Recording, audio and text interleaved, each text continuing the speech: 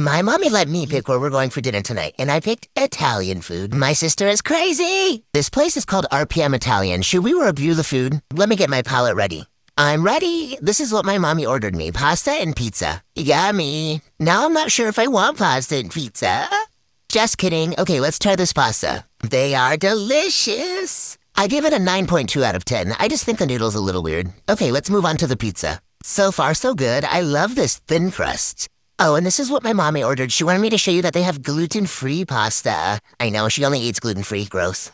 Lena, I had one more bite. Okay, now I'm done. Can someone take this?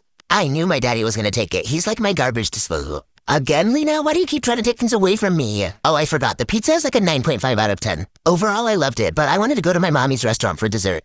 I love all of the cookies, but I got a chocolate chip cookie this time. Bye!